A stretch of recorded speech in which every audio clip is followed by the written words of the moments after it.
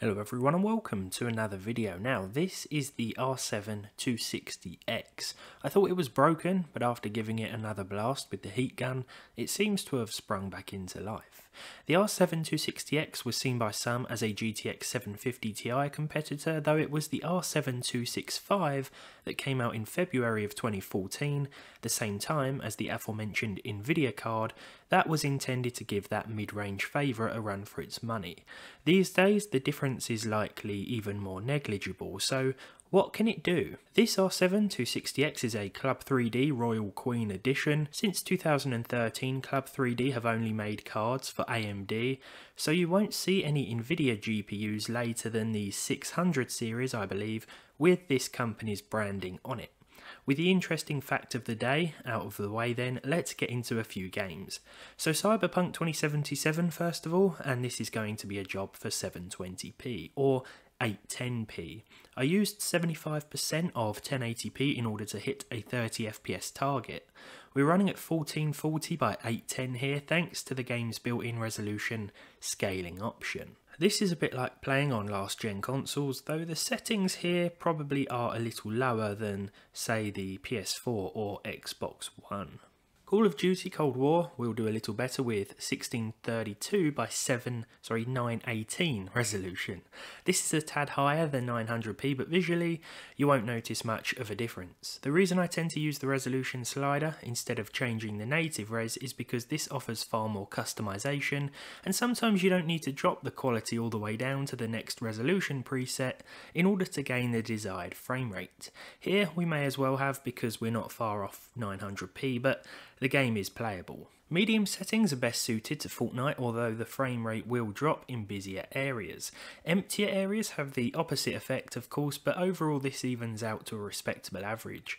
I remember I was so torn between this, the R7 265 and 750 Ti many years ago, before eventually settling on the Nvidia option because of the lack of a 6-pin connector. GTA 5 is as old as it is popular, and by that I mean it's pretty old, but it's still pretty popular. I tend to play single player most of the time, going online very occasionally, but yeah, performance isn't going to be significantly different if you're just wandering around causing carnage on your own like I tend to do.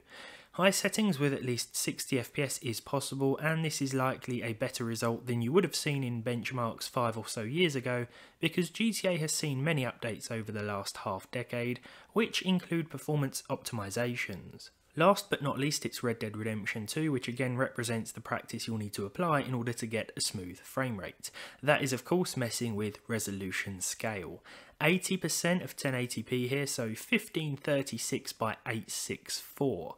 This looks better than 720p and a little blurrier, I guess, than 900p, but it's a good middle ground to stick with. From what I've seen, the R7 260X is a bit cheaper on the used market right now than a 750 Ti, and for that you're going to get similar frame rates, but you will need a spare 6-pin connector running from your PSU for most, if not all models. Also, make sure, and this is very important, that you get a 2GB model because if you get a 1GB card, then yeah, you're going to experience some serious problems with frame rates and frame times. But there we go, I thought while this card is working, why not give it a go, see what it can do quickly. And uh, yeah, there we go, the R7 260X 2GB version. I can't stress that enough, the 2GB version is the one you want if you are looking for one of these. Again, the 750 Ti is a more commonly found option, so that may be worth going for instead. Both of them are pretty close in price and both of them are still supported by their latest respective drivers. Thank you very much for watching this video. If you enjoyed it, leave a like down below. Leave a dislike if you didn't. Let me know what you think of this card in the comments. Maybe you've still got one in your system. Subscribe to the channel if you haven't done so already, and hopefully I'll see you all in the next one.